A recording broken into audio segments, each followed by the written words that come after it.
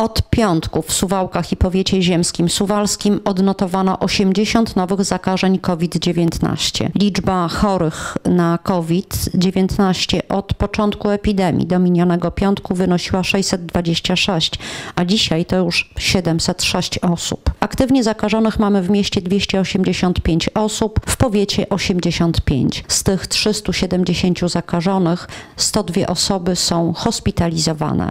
W miniony piątek rano było to 67 osób. Od piątku do poniedziałkowego poranka nie odnotowano nowych ozdrowień. Wciąż mamy ich 333. Do tej pory pobrano 2922 próbki do testów. Ta liczba nie obejmuje próbek pobieranych na zlecenia prywatne. W związku z potwierdzonymi zakażeniami wśród personelu i pacjentów przyjęcia wstrzymał Suwalski Szpital Psychiatryczny. Jak poinformowała zastępczyni dyrektora placówki, planowe przyjęcia wstrzymane są do 9 listopada.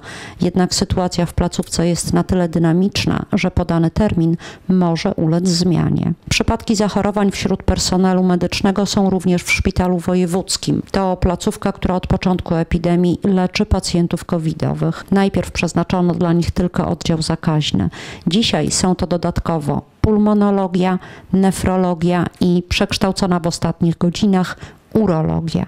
Kolejnym wsparciem dla naszego szpitala ruszył suwalski samorząd. Na wniosek dyrektora szpitala prezydent Suwałk podjął decyzję, że miasto Suwałki wesprze naszą suwalską placówkę leczniczą kwotą 75 tysięcy złotych i te pieniądze będą przeznaczone na zakup sprzętu potrzebnego do walki z pandemią tak zwanego koronawirusa. To nie pierwsze wsparcie, jakie trafiło do suwalskiej lecznicy z ratusza. Do tej pory z miejskiej kasy wyasygnowano 551 tysięcy złotych na pomoc szpitalowi w walce z pandemią. Zasadność tego wsparcia jest niepodważalna.